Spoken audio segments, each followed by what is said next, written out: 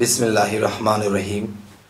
হে সমস্ত জগতবাসী আজ আপনাদের সামনে যে আলোচনাটি নিয়ে আসলাম, এই আলোচনাটি অনেক ব্যক্তি আমাকে বলেছেন যে আপনি এ সম্পর্কে কিছু আলোচনা করুন, যাতে করে আল্লাহর ধন হারিয়েছি, আবার যেন ফিরে পাই। সে আলোচনাগুলো কি দেখেন? একটা মানুষ যখন আল্লাহর অনেক ইবাদত করে, অনেক সাধনা করে, আল্লাহর জন্য অনেক কিছু ত্যাগ দেয়, দেওয়ার পরে সে মানুষটা যখন আল্লাহর কাজ নিয়মিত, সাধনা নিয়মিত আমল করতে থাকে, তখন দেখা যায় আল্লাহর তরফ হইতে সে অনেক কিছু দেখতে পায়, অনেক কিছু পায় এবং পাইতে পাইতে এমন একটা পর্যায়ে চলে যায় তখন দেখা যায় যে সেই মানুষটি অনেক সময় একজন মানুষকে একটা কথা বলে দিয়েছে, এটা ফলে গেছে। সে চিন্তা করল, সেদিন আমি কথাটা বলেছি। সে তো বলেছে তার কাজটা হওয়ার মতন নয়, কিন্তু হয়ে গেছে। আচ্ছা এরপরে এরকম অনেক পরীক্ষিত হয়েছে এবং মনে একটা আনন্দ আছে যে আল্লাহর তরফ থেকে আমি স্বপ্নে বা সাধনার মাধ্যমে, আমলের মাধ্যমে আমি নূরে তাজাল্লি পেয়েছি, আমি রাসুলকে দেখেছি, আমি বিভিন্ন কিছু মক্কা মদিনায় আমি গিয়েছি, গিয়ে কত কিছু দেখেছি, এরকম কিছু, অনেক কিছু দেখেছে। আচ্ছা। তো লোকটা মানুষের সাথে যখন কথা বলে, তখন মানুষ তো আর তার খবর জানে না যে সেতে কতগুলো কতগুলো জায়গা সে এগিয়ে আছে। তখন এই ব্যক্তিটি দেখা যায় কাউকে এই পরিচয়গুলো বলে ফেলে। কীরকম? একটু কাছাকাছি হয়েছে বা একটু মহব্বত হয়েছে। এখন মহব্বত আছে, লোকটার সাথে আরেকদিন মহব্বত নাও থাকতে পারে। কিন্তু মহব্বতে কিছু কথা বলে ফেলে। দেখো, আমি এতদিন ধরে সাধন করি, আমি আমল করি আমি আল্লাহর তরফ থেকে এই জিনিসগুলো দেখেছি, এই জিনিসগুলো পেয়েছি। তখন কি হয়? তখনও আল্লাহ ধৈর্য ধারণ করে, আল্লাহ কিছু বলে না। তো এরকম করতে করতে সে ভালো সাধনা করে, ভালো অগ্রসর হইতেছে। কিন্তু তার ভিতরে কি জানি একটা, ভিতরে কিলিবিলি করে, যে মনে হয় কারোর সাথে কিছু বললে ভালো লাগবে।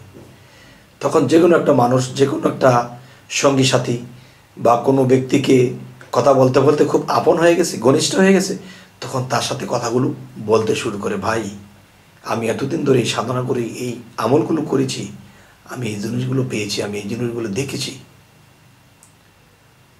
জিনিসগুলো তো আল্লাহর কাজ করেছে, আল্লাহ দিয়েছে। যেমন দেখেন, যে একটা কথা আছে যে, তুমি যদি কাউকে দিয়ে কাজ করাও তাহলে তার শরীরের ঘাম শুকানোর আগে তার রোজটা আগে দিয়ে দাও। আল্লাহ রাসুল আর আল্লাহ যদি এরকম কথা বলে থাকে, তাহলে আল্লাহর কাজ করলে আল্লাহ কিন্তু নগদ দিয়ে দেয়। আচ্ছা এখন এরকমভাবে সেই লোকটা চলতেছে। তো দিন যায়, তার ভিতরে একটা আমিত্ব কাজ করে বা একটু গর্ব কাজ করে বা একটু বরত্ব কাজ করে, আমি এই জিনিসগুলো পেয়েছি। তার ভিতরে জিনিসগুলো টকবক করতে থাকে। তখন কি হলো? প্রায় লোককেই বলে। তখন যার কাছে বলে, কেউ পূর্ণ বিশ্বাস করেছে, আবার কেউ বিশ্বাস করেনি। হিস বলেছে, বিষ লেগেছে। আচ্ছা। এরকম করতে করতে দেখা যায়, কেউ কেউ তাকে খুব মূল্যায়ন করে। যে লোকটা এত কামাই করেছে, এত আল্লাহর কাজ করেছে, কেউ কেউ তাকে প্রশংসা গায়। আর এই প্রশংসাটা পাইতে তার কাছে ভালো লাগে। তখন আরও দুই লাইন আরও দুইটা লাইন বাড়ায়া বলে। তো এরকম করতে করতে তখন কি ঘটনা হয় জানেন? বুঝবেন, আল্লাহ পৃথিবীতে বান্দাদেরকে সৃষ্টি করেছে। বান্দা কি? বান্দা হলো গোলাম। আল্লাহর গোলাম। এখন এই গোলাম যখন আস্তে আস্তে আল্লাহর কর্মগুলা করে, প্রেমভক্তির সাথে সাধনা করে, তখন আল্লাহ কিন্তু তাকে আস্তে আস্তে বন্ধুত্বের হাত বাড়ায়। যেমন হজরত মোহাম্মদ সাল্লাহ সাল্লামকে বন্ধু বলেছে, অন্য অন্য নবীদেরকে বন্ধু বলেছে, বর্তমানে অলিয়া উলিয়াদেরকে বন্ধু বলে। তাহলে যখন বন্ধুর হাত বাড়ায় তখন দেখা যায় তার ভিতরে দিন দিন একটু অহংকার হয়েছে। আর সে কি করেছে, কি পেয়েছে তা বলতে ভালো লাগে, এরকম মানুষ ধরে ধরে বলে।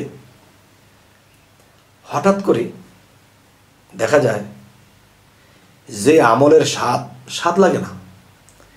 এই আমলের মধ্যে যে একটা প্রেম জাগত, চোখে পানি আসতো, এটা আর আসে না। এর কারণ কি জানেন? আপনি প্র্যাকটিক্যাল আপনি বাস্তব জগতে হয়তো পনেরো বিশ বছর বয়সে কোনো মেয়েকে আপনি ভালোবাসেন। আবার মেয়েটিও আপনাকে ভালোবাসে, কিন্তু এই ভালোবাসাটা গোপনে চলছে। উভয়, উভয়কে ভালোবাসে। এখন তার সাথে যে আপনার ভালোবাসা আছে, এটা দুইজনে জানেন আর কেউ জানে না। আরেক আল্লাহ জানে। তখন সেই বন্ধুর কথা, সেই বান্ধবীর কথা আপনি প্রতিবেশীর সাথে আলাপ করেন যে আমার প্রেমিকা খুব ভালো, আমাকে আজকে এটা দিছে, আজকে এই কথাটা বলছে, আজকে এই সুন্দর একটা জিনিস আমাকে উপহার দিয়েছে। তখন এই কথাগুলো সে যে প্রায় প্রায় মানুষকে বলে, তার বান্ধবীর কানে এটে গেছে। বান্ধবীর কানে যখন এটে গেছে, কিরে, আমরা একটা গোপনে সম্পর্ক রেখেছি? সে বলে বেড়ায় আমি তার সাথে আর কথা বলব না। তখন তার বান্ধবী পলায়ন করেছে। আচ্ছা আল্লাহ সমস্ত বান্দাদেরকে সৃষ্টি করেছে। এখন আল্লাহ যখন দেখে কারও কর্ম, প্রেম ও ভক্তি, সাধনা দেখে, তখন আস্তে আস্তে আল্লাহ তার দিকে বন্ধুত্বের হাত বাড়ায়। আর সেই মুহূর্তে সেই ব্যক্তি যদি মানুষকে বলে ফিরে আমি সাধনা করেছি, আমার আল্লাহ এটা দিচ্ছে, আমি এটা দেখছি, এটা আমি এটা পাইছি। তখন কি হয়? আল্লাহ তার থেকে দূরে চলে যায়, অন্ধকার হয়ে যায়, সে সাধনা করে আর কিছু পায় না।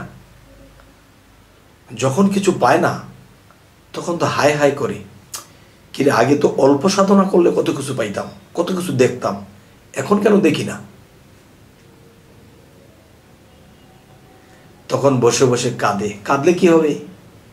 সে ছিল মধুময়, সে ছিল প্রেমিক, সে ছিল দয়াময়, সে তো এখন কাহার হয়ে গেছে। তুমি তার গোপন কথাগুলো মানুষকে বলে দাও। আচ্ছা।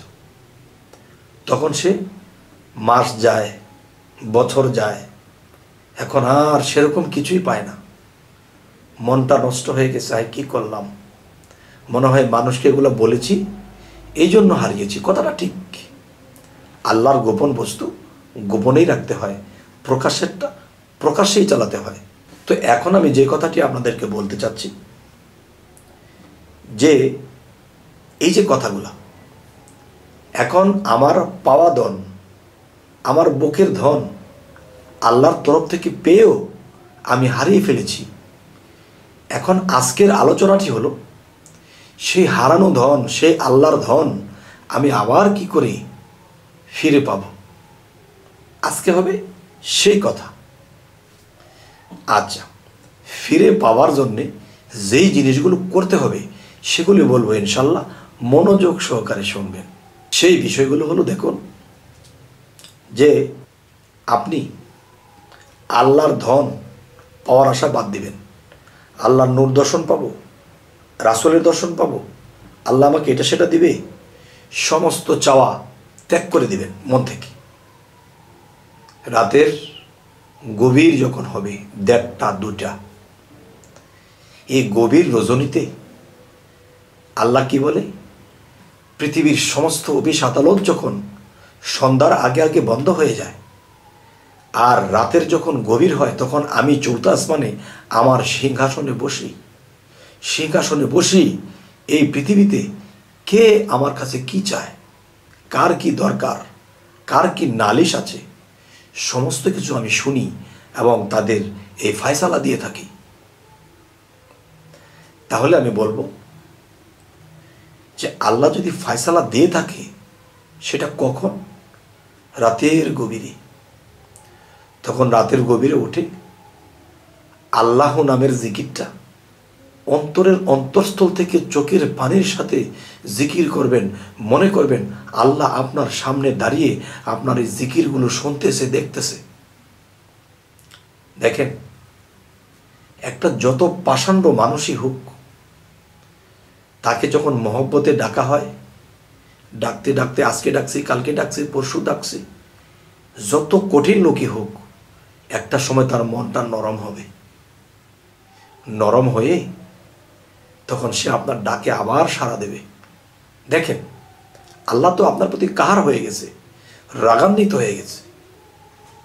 তখন আপনি রাতের দুইটা বাজে উঠে আল্লাহর জিকির করলেন, সরাসরি আল্লাহকে সেজদা করলেন এবং আল্লাহকে ভেবে কিছুক্ষণ কাঁদলেন। এরপরে হাত দুটো তুলেছেন, হে আল্লাহ। তোমার কাছে আমি কিচ্ছু চাই না। আমি শুধু একটা জিনিস চাই, সেটা হলো কি? আমি যে কিছু ভুল করেছি, আমি যে আবেগের বসে, অহংকারের বসে, আমি কাউকে এই কথাগুলো বলে ফেলেছি, আমি তওবা করছি, আমি আর কখনো কাউকে বলব না। হে আল্লাহ, আপনি আমার আগের জায়গাটা ফিরিয়ে দিন। আমার খুব কষ্ট হচ্ছে। অনেক কষ্টের ধন, অনেক ত্যাগ করে, অনেক কিছু করে পেয়েছিলাম। আজ আমি হারিয়ে ফেলেছি, আপনি রাগান্বিত হয়ে গেছেন। হে আল্লাহ, আমি কিচ্ছু চাই না। আমি চাই আমাকে ক্ষমা করে দেওয়া হোক।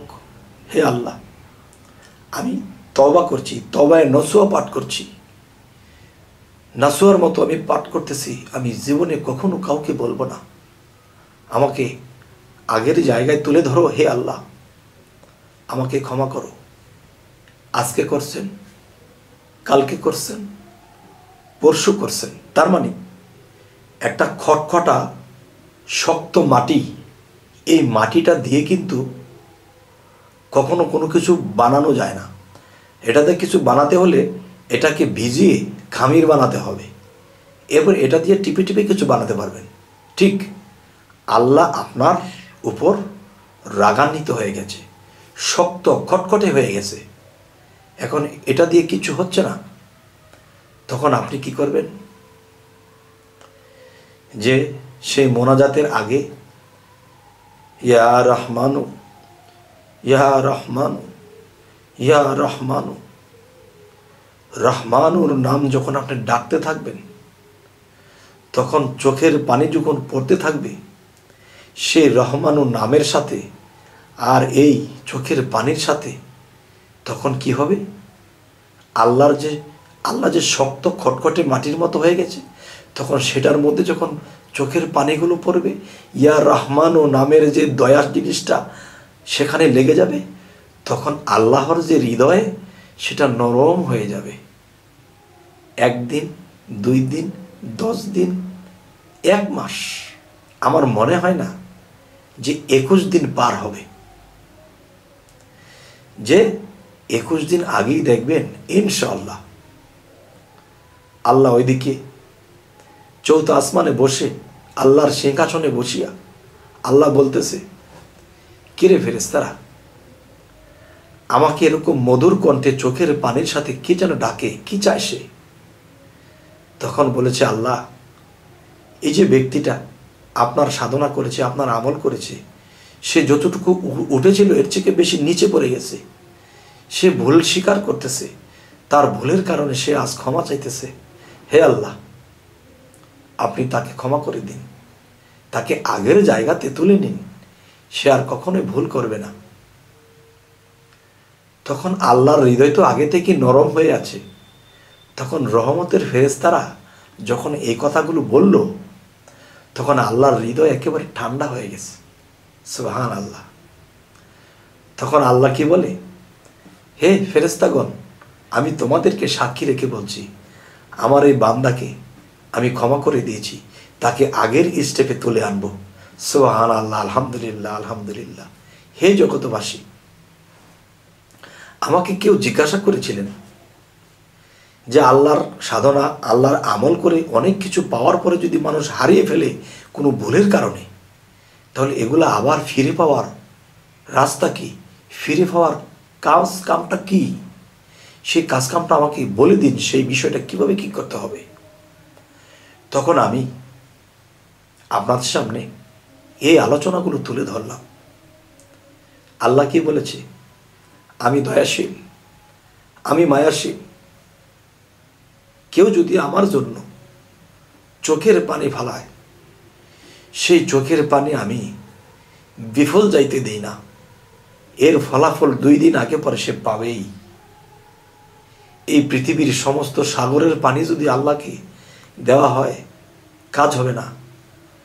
চোখের থেকে যে দুফোটা পানি পড়েছে, এই দুফোটা পানি আল্লাহর কুদরতি চরণে যদি দিয়ে দিতে পারি, আর আল্লাহ যদি একবার খুশি হয়ে যায়, এই জীবন ধন্য, আর কিছুই চাওয়ার নেই।